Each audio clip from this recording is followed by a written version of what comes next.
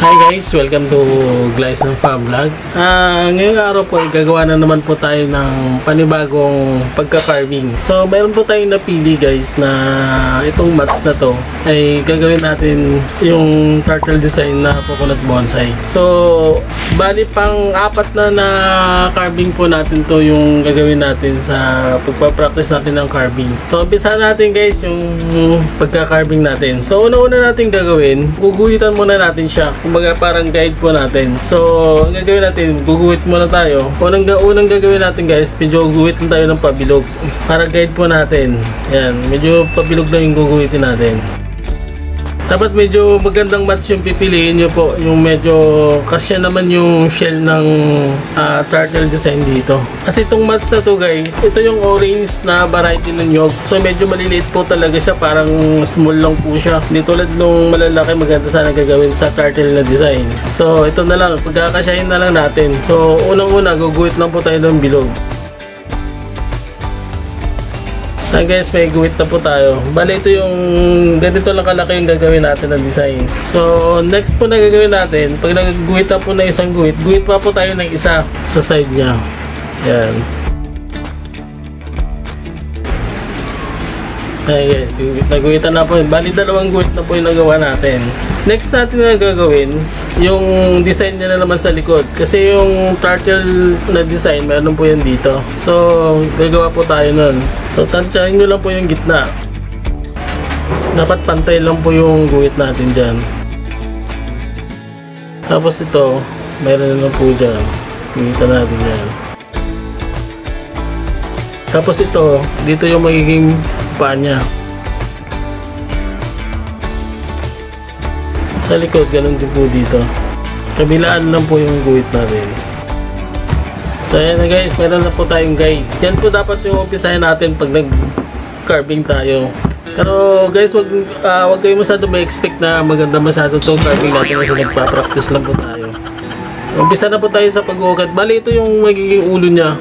Yan. Yan, magiging ulo niya yan. Ito. So, ititira po natin yan.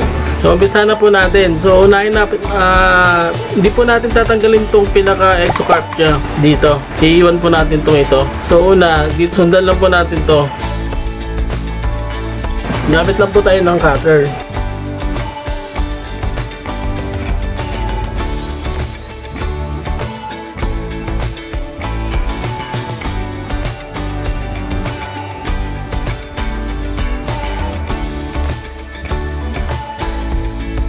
So bali ito yung iiwan po natin, itong span na to. Sundan lang po natin yung guhit natin. Yung dito niya guys, huwag po natin putulin. Yung dito niya. Ang iiwan po natin to kasi dito po ulo niya. Kasi ito lilinisin po natin yung side na to. So sunod natin gawin, sundan lang po natin yung mga guhit natin dito. Ito yung maging ipaan niya guys. Ayan. Sunod po dyan, ito na po yung susundan natin. Okay, po natin to. Sundan lang natin yung ginuhit natin. Kaya importante po yung pagguguhit guys. Kasi doon tayo susunod sa guhit natin para hindi tayo sa pagka-carving kasi, sa pagkakalam ko, pag walang guhit po, mahirapan po tayo. Maliban na lang kung medyo expert po talaga. Tsaka wag yung medyo isagad ng pag-uukit muna. Kailangan malit lang po muna. So baka hindi po siya parehas yung laki tsaka distansya ng kabilaan. Saka na lang kayo mag-adjust pag medyo klaro na po yung pag-uukit natin.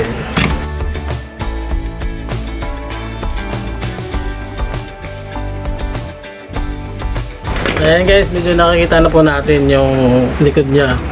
So, ganyan lang po siya. Laliman lang po natin to.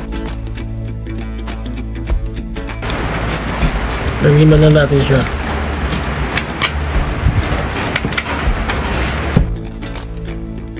Tapos ito guys, tanggalan lang po natin ng konti dito. Yung dito niya. Ayan. Lagyan natin ng parang line pa rin, ng pa-circle para makita natin.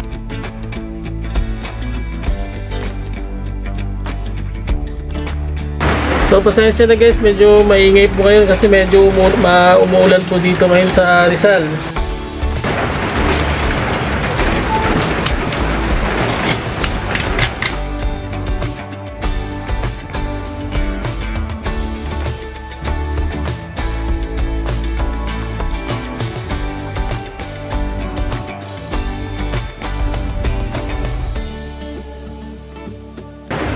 So, pwede na yan guys, yung likod niya.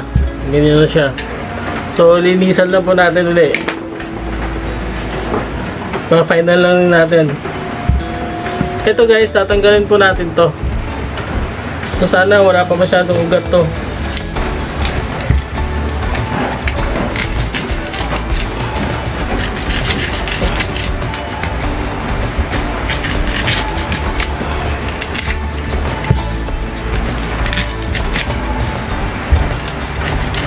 Yung dito sa side na to, ito yung laliman ninyo. Basta huwag nyo lang isama yung paa.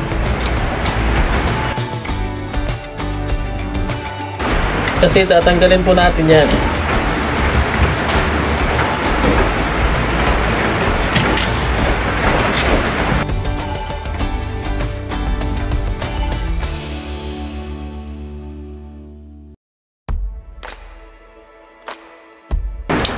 Ganon dito guys, tatanggalin din po natin to. Gagawan muna natin ng forma yung buntot niya.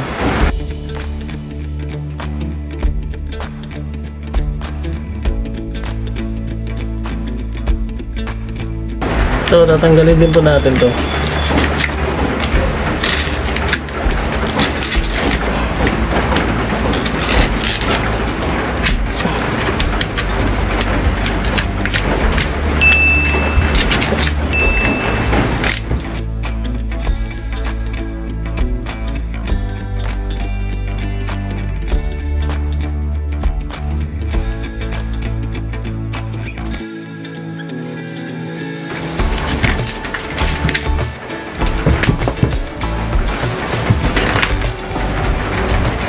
Meron dito kabila guys, tatanggalin pa rin natin to.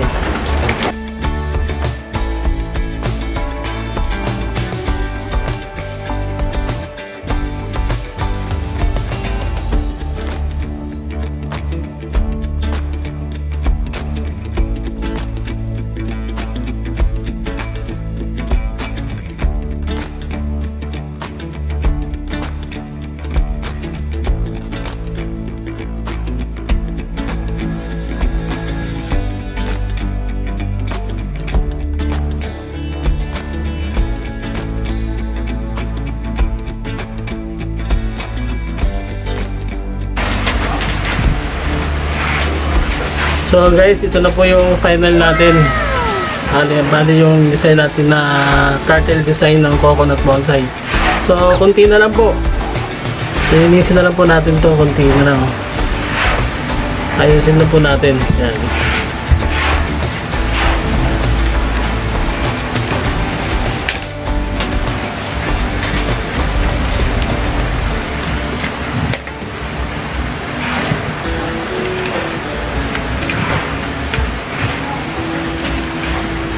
Bari pa-apat natin na kwanto na practice ng pagka-carving guys. Pero tingin ko parang kulang pa rin. So, ibig, isa lang po ibig sabihin yan. Baka wala na talagang pag-asa gumaling sa pagka-carving. So, sasabay na rin natin to guys yung pag-roast cut nito. Bali, roast cut na po natin siya. Bali itong mat ang material natin na ginamit guys, bali orange variety po ng nyug puto na galing General Santos City. Tayo na rin po nag-germinate nito. Nung dumating sa atin to, wala pa pong shoot to. Tayo na lang po nag-germinate, nag-germinate nito. So bali one week ko lang po sa germinate o make it one week. Tapos, ito na po yung tsura niya.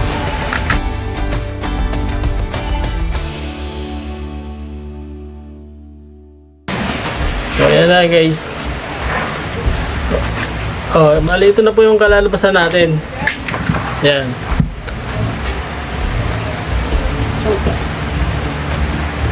Turtle shell design ng coconut bonsai. So hanggang dito na lang po at ah, maraming maraming salamat sana ah, pag pagpasensyahan nyo na guys yung medyo hindi talaga perfect yung paggagawa natin pero sana sa susunod medyo gaganda pa. At lalo nang marunong tayo sa pagka-carving sa lagi tayo pagpa-practice sa pagka-carving natin. So guys maraming maraming salamat at huwag po kalimutan i-subscribe and i-click yung notification bell para sa para updated po kayo lagi sa mga incoming videos po natin sa Glyson Farm. So, hanggang dito na lang po at maraming maraming salamat sa panonood.